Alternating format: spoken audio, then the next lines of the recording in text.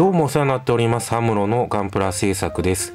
機動戦士ガンダム逆襲のシャア MSV よりマスターグレード100分の1リガーズイカスタムです、えー、約1週間ほど経過しましたが前回の動画で本体まで組み立てましたので、えー、残り BWS と、えー、武装類の組み立てとまとめのレビューを行いたいと思います。はい、えー、それでは組み立ての、えー、続きですね、えー、前回の組み立てでリガズイの機体解説に触れましたので今回はリガズイカスタムについてです、えまずは簡単な概要から。機動戦士ガンダム逆襲のシャア MSV に分類される機体。初出は1988年発行のムック本。B クラブスペシャル15機動戦士ガンダムモビルスーツ大全集で。劇場版オリジナル MSV として秋高美香がデザインした3機のモビルスーツのうちの1つ。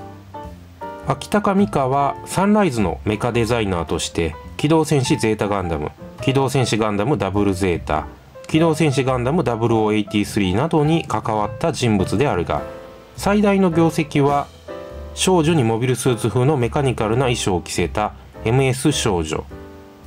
リガズィカスタムはリガズィをアムロ専用機にしたらというテーマでデザインされており秋高はやはりアムロが乗るならガンダム側をしていないとねとコメントしている。はい、えー、ということです、えー、では続いてリガズィカスタムの機体解説です。リガズィの性能向上型で同機を再設計し BWS に依存せず短期での簡易可変機能を備えた機体。アムロレイの蒸気として設計されたとも言われる。BWS が本体と一体化しておりかっこ着脱も可能。モビルスーツ形態では機種ユニットが下方に折りたたまれている。可変翼に変更された側面ユニットはモビルスーツ形態ではウィングバインダーとなり機体各所にアポジモーターが追加されているためモビルスーツ形態においても機動性が向上しておりまた可変モビルスーツとなったことで総合性能が大幅に向上している。ニューガンダムとリガズイの中間に位置する機体でもあり腰部にはニューガンダムと同様の3点アポジモーターを装備する。武装 BWS 側面ユニットに3連装ミサイルランチャーとハイパービームサーベルを1基ずつ装備。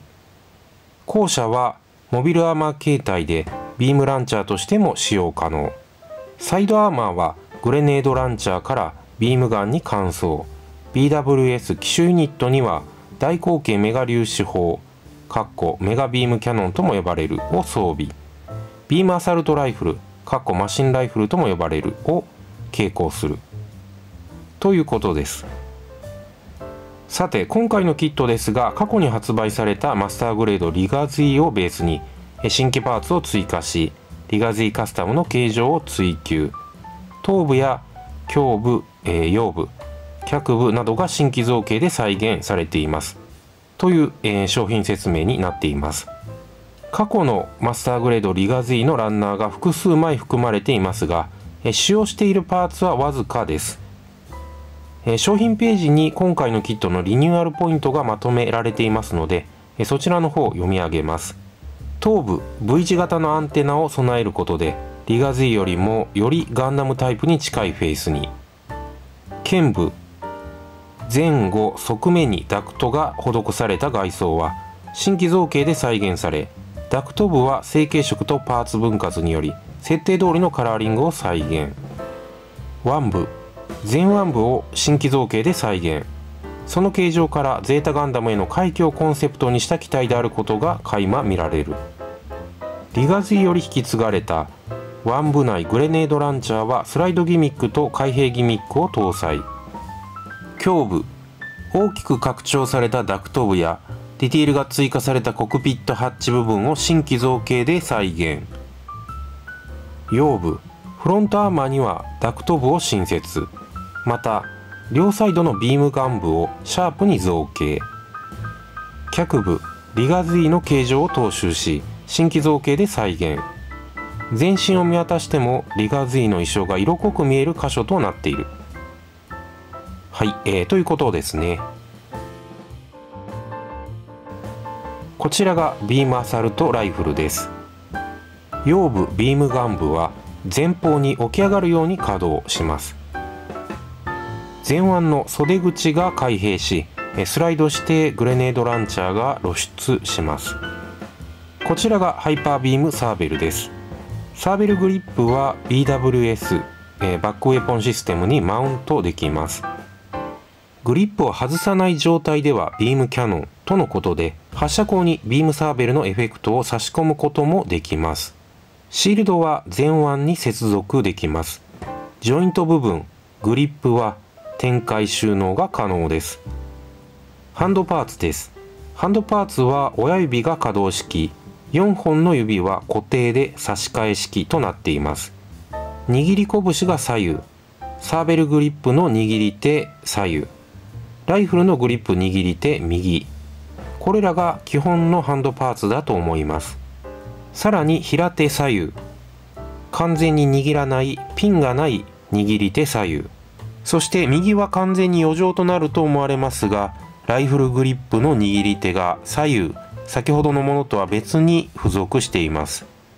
BWS は着脱が可能です、えどこまでが BWS に該当するのか分かりませんが、えいくつかのブロックに分離して、え背部から外すことが可能になっています。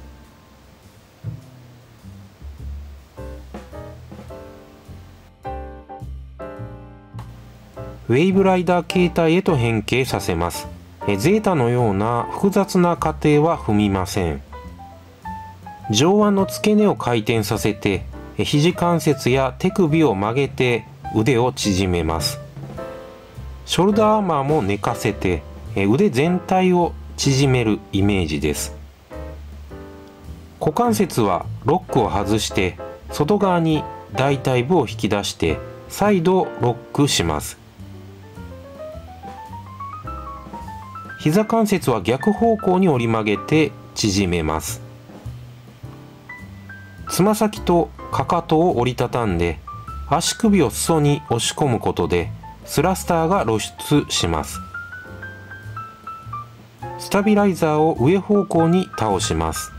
ウイングを外側に開きます。シールドはマウントパーツを使用して胸部から太ももを覆うようにかぶせます。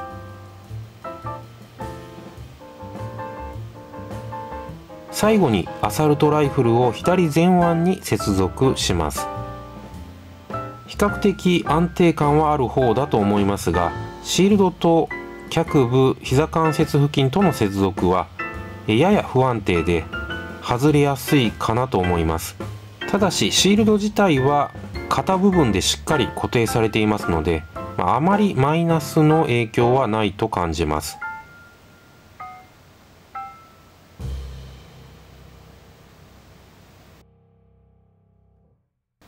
稼働についてはご覧の通りです。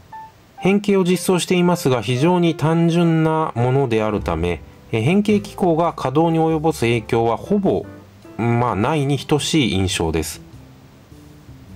頭部は1回転します。肩は前方向に少し引き出せます。さらに上方向へ大きく持ち上げが可能です。肩上腕の付け根手首がそれぞれ1回転します。